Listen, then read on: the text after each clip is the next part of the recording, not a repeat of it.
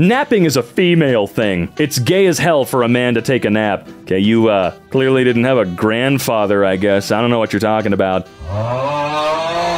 Gatekeeping imagination. Do not get me wrong. This is actually a pretty cute way of looking at it, I suppose. It kind of reminds me of that old Lego advertisement uh, that uses the silhouettes to show a piece of Lego and then the shadow is like a ship or something.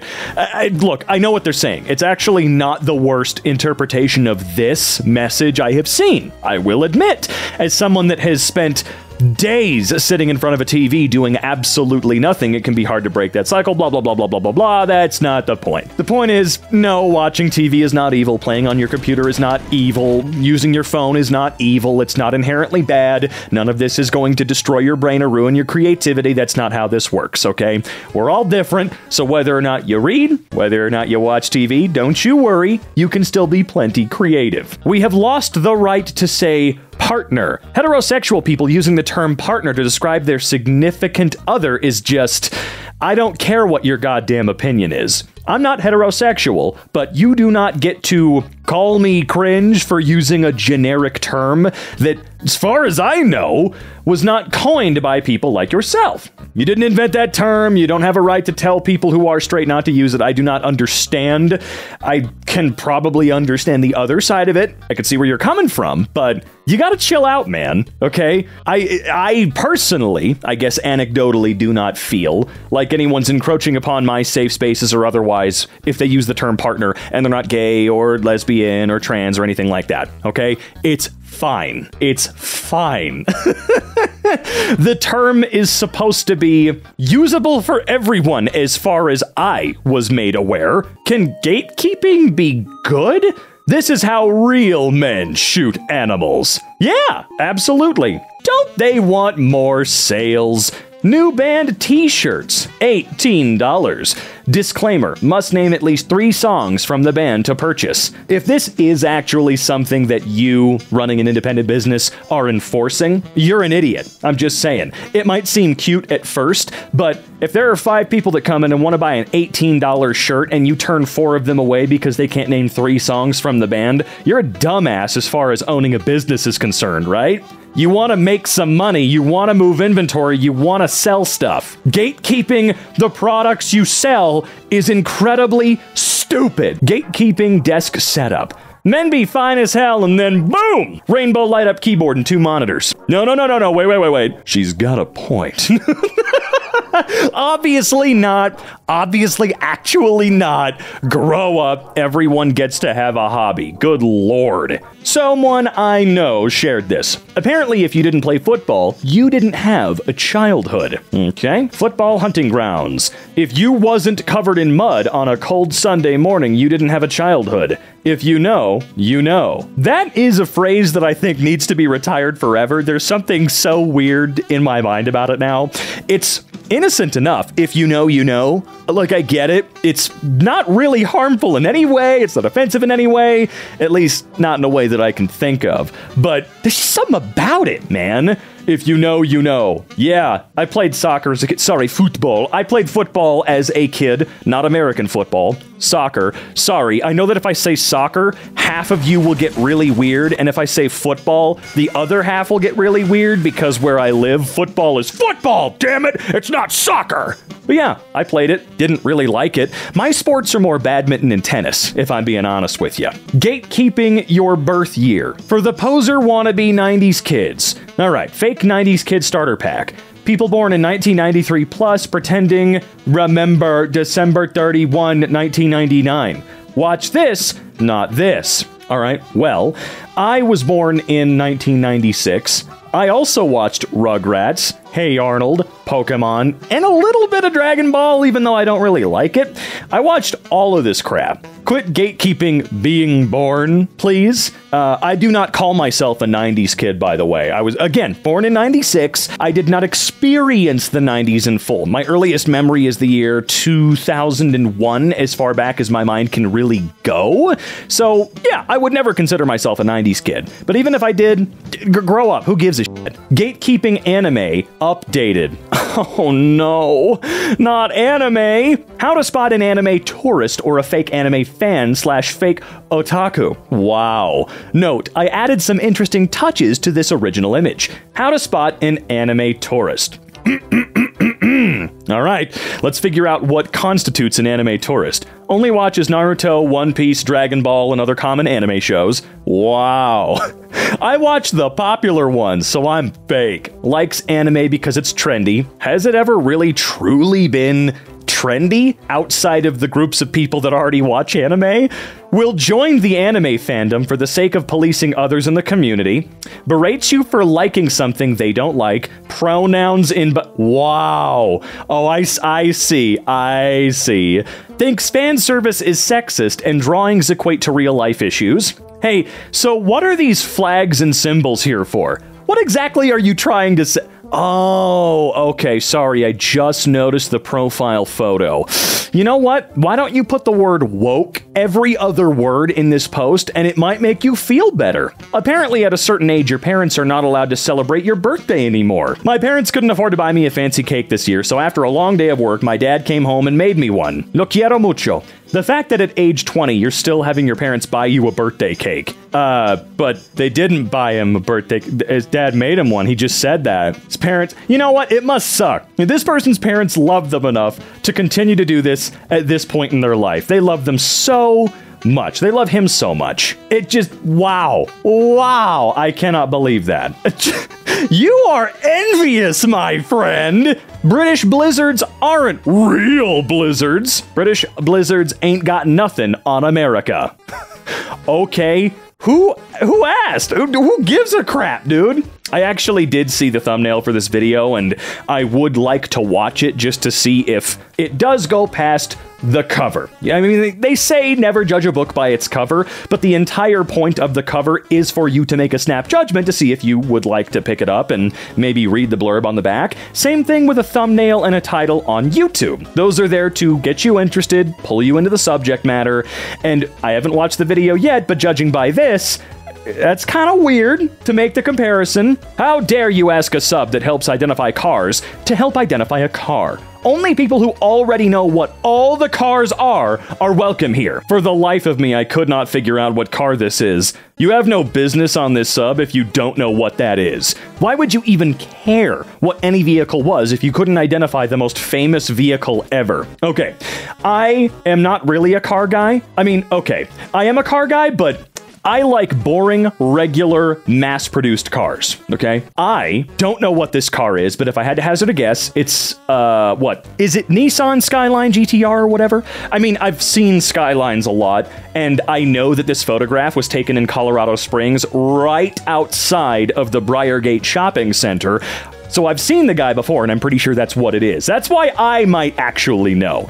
But come on, I don't care what the car is. The subreddit was made for a reason. Just because you think you're so hot, you're real hot shit, does not mean you get to tell somebody else they don't belong here. Okay? That's weird as hell, bro. Unsure if this belongs here. Homeless Chicago man suffering from hypothermia makes miraculous recovery after someone from Wisconsin informs him it's actually much colder where I'm from. It doesn't. It's obviously a joke. It does. It's obviously a joke about gatekeeping. Can you read?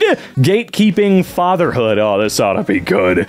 Oh, this one where they called him creepy because he's doing a very normal thing that's recommended for fathers and mothers to do. Yeah, don't don't do that to dads. Now, look, again, I, as I said before, I'm not really a fan of this man in particular, but what he is doing here is a good thing. You know, eh, all the stories about him and whatnot, he was willing to show this photo of him doing a very normal, basic thing for his newborn child. And he's happy about it, looks giddy as hell, and that's fantastic. Gatekeeping depression?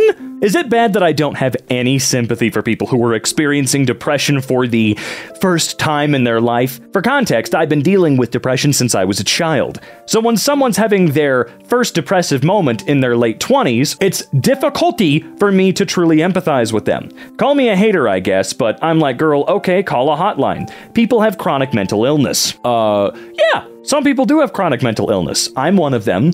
I've been manically depressed for the last, ooh, God, I want to say 16, 17 years. Some days it's better, some days it's significantly worse, but I would never in my wildest dreams be this mean to somebody else over the fact that they are just now experiencing something that I've been experiencing for a long time. That's weird, okay? You're not cooler because you've had depression for longer. You are not more valid because you've been experiencing it for longer. That's not how this works. You need to sort out your shit. And, you know, uh, honestly, there's not much more I can say. You just need to sort that out. Gatekeeping feminism. Reminder that feminism is for women only. And also, feminism is for women. What? I'm confused. Gatekeeping, having fun. Mad night out. Is that bi- wait, bingo? What? You call bingo a mad night? LMAO, my mad night is three fights with people getting stabbed, getting searched by cops, and then getting drunk and partying and going home to a girl. You have literally never done a single one of the things that you listed, but go off, okay? Absolutely go off, you dork ass loser. Who the hell says that? Wow. You had a good night out, you're calling it mad? Well, I get stabbed every weekend. I get my ass kicked every weekend. And then I, I, I, get I get searched by the police every weekend. And you know what I also do every weekend? I go home and my wife talks to me about getting divorced. Gatekeeping genders. Thank you, Jesus. Trump will not allow this. Praise God. Who's with me? Men should look like men, women should look like women. These are both transgenders? What? I mean, I know what you mean, but it's still just transgenders? What the f- are you talking about? But yeah, this is a hilarious post. I've seen it more than once in my life. Gatekeeping immigration while being an immigrant. Rally in Japan against immigration. Need this in Canada. I left, but it's getting ridiculous, I hear. Immigrants are bad, says the immigrant in another country. Yeah, that just drives me bonkers.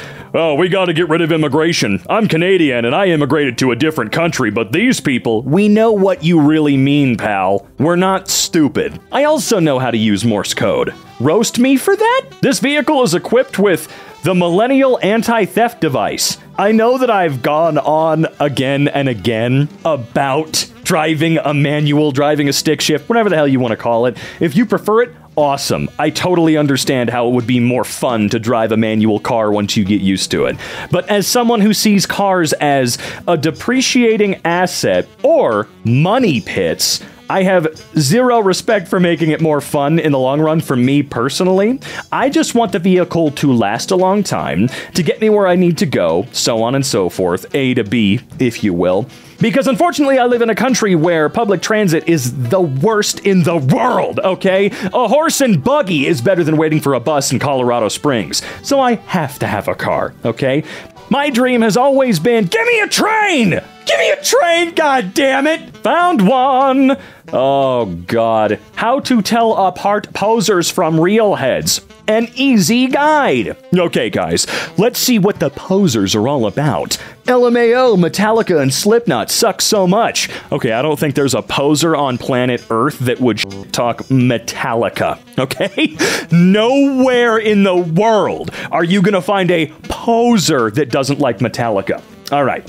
Still orders all their merch online. Actually hopes someone talks to them because of their shirts. I'm so glad I got into metal. It's really enriched my life. Did you know that metal actually has more in common with classical than pop? Have you heard of Bolt Thrower? They are peak! All right, now let's see what real metalheads are all about. Now, I grew up with a real metalhead as my best friend, so let's see if this is accurate. Hasn't actually enjoyed listening to a new metal album in years. Eh. I mainly go to shows to catch up with my friends and because I like the ambiance. What? Indie folk is actually pretty good. Yeah, but indie folk? Absolutely. Not just indie folk, though. All of them. Want to try my homebrew mead? Listens to their old favorites because it reminds them of the excitement they once felt. Also, I, I, don't know. I'm not a metalhead, but uh, can we stop doing the whole posers thing? Can, can you stop? All right? Born in 89, millennial, couldn't tell you who this cat is. You're not a millennial unless you're still processing the pain of losing Thomas J. oh, I. Wait a minute. Wasn't that the character from the movie My Girl in the early 90s? I, I, I can't remember why he died. Um, was it an allergic reaction thing? I don't know. It's just been a while, but I remember seeing this movie and going, whoa, what? Peak gatekeeping over here. Omni Man moment. I bet you didn't even read the original comics. A bit tired of new fans who act like they know Invincible, but they truly don't. Man, those downvotes, though, they're really making you look like a nerd. Look, there's nothing wrong with being a nerd, but there is something very wrong with being this type of nerd. Gatekeeping real art. Oh, yeah? Different atmospheres. Which one is your favorite? That's a really low resolution image. This is digital? Grab a real pencil and start doing real art, man. Shut up. If you can't describe your job in three words, you have a bullshit job. All right, well, let's see. Bullshit job is I'm a SaaS based fintech sales analyst. What? I develop and maintain automated capabilities. I create systems to record blockchain data. I catch fish. Gatekeeping success. Most men who think about the Roman Empire do not think about their place within the empire. I would be a war general, likely to die as ruler. I know you like to think the same, but your life proves you'd be a peasant or slave. All of you are lazy, weak, and stupid. Andrew, uh, man, buddy, my guy, my cuddly little teddy bear, darling baby buggy bumper boo. You are not that guy. You have never been that guy. You are never going to be that guy. I think we can all agree on that. okay? So please, fade away and never speak the f again. Gatekeeping childhood trauma. Bow down to the enemy. Avoid danger at all costs. People who had traumatizing childhood experiences. Oh, you think you can hurt my feelings? I grew up in a very abusive environment because my parents used to slap me lightly on the face every single night. And my parents yell at me for getting 10 marks out of 100 on my exam. You cannot even begin to fathom how bad my childhood is. I've grown so much that your weak arguments are useless against me. So come at me, brother. Show me what you've got. People who actually had traumatizing childhood experiences. I'm sorry, you were actually right. Please don't start an argument. Okay, don't ever do this. Don't ever do this. Again, you're not cooler or more unique or more valid because you might have had something worse. Okay? A trauma is trauma. I've mentioned the Kevin Smith thing so many times now, I'm not going to do it again, but I do still recommend it. Hand position gatekeeping? Me playing Legend of Zelda Ocarina of Time 1998. This is the best game ever. Me playing Legend of Zelda Breath of the Wild today. This is the best game ever. First off, she's using the Joy-Con grip, so her statement is invalid. Second, as much as I enjoyed Breath of the Wild, in terms of story and swordplay, it is the worst 3D Zelda game to date. Wow, you are alone in that sentiment, pal. Like, I love this game, but every weapon type feels exactly the same. Wow, a sword feels like a sword. A stick feels like a stick. They feel similar. Okay. The lack of auto targeting is a staple in the Zelda universe. And the story? Well, I don't need to go into detail on that one. Yeah, you do. You know what? If you're going to take the time to make a comment this dumb, you do. You do need to go into detail on that one. Okay? And what's wrong with the Joy-Con grip? Well, no, seriously, what's wrong with it? Someone using the console as is designed because they want to? Hmm, weird. Yeah, people that gatekeep anything annoy me, but for some strange reason, I get really mad about people that gatekeep gaming. Uh, you know, gaming is the biggest entertainment industry that has ever been and hopefully continues to be because of how amazing it is. In every facet of its creation, from the writing all the way to the voice acting and the coding, the animating, everything. It's amazing the way it all comes together. And I just can't get over people that say things like, wow, you play on easy? Try playing on the hardest difficulty so that you get more mad and pissy and stupid as time goes on and you grow to resent the game. No, no, no, no. I want to play the game however the hell I want to play the game, and you can seethe and consider it invalid all you want. I'm a grown ass man, you're a dork ass loser.